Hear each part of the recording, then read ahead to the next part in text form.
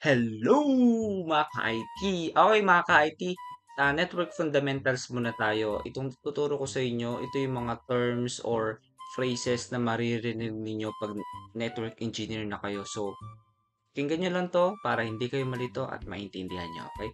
So mga ka-IT, let's talk about fault tolerance. Okay? Sa IT networking, pag sinabi mong fault tolerance, sabi niya dito, it's ability of a network to continue functioning smoothly in the event of failures or malfunctions within its component.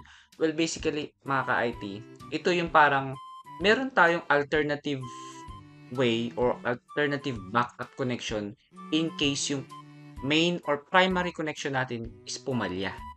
Okay? Yung napaka-importante nito para kung sakaling pumalya man yung pinaka-main connection natin, hindi mararamdaman ng mga end users yung problema. Kasi gagamitin nila yung alternative path. Pinay IT guy, pwede bang explain na mas madali? Okay. Sige. Pero bago yun mga ka-IT, kailangan muna nating malaman yung mga terms. Yung resiliency and yung redundant connection. Resiliency, save lang siya ng fault tolerance. Pag narinig yung redundant connection, ito yung kakaroon ng backup connection. Okay? Redundant connection, backup connection. Okay?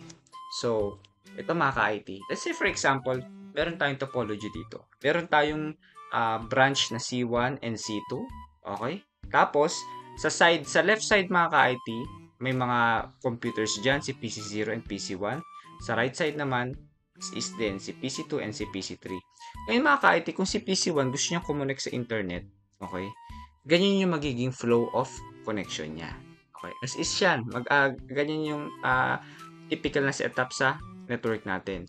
Pero what if mga ka-IT, okay, habang kumokonek si PC1, naputol yung linya. Okay, yung link na yan or yung cable na yan. So, wala nang way para makapag-internet si PC1. Okay? Pero, pag ang network mo is fault tolerant, okay? Ah, kahit maputol itong uh, link natin, okay? Dahil nagkabit tayo ng redundant link or yung backup link, ika nga dun sa terms na binanggit ko sa inyo, okay? Meron siyang other way para makakonect sa internet. Napaka-importante nito mga ka-IT, okay? Kasi yung mga end users natin, hindi nila mararamdaman yung putol ng internet connection natin. Ganon ang isang example ng fault tolerant network.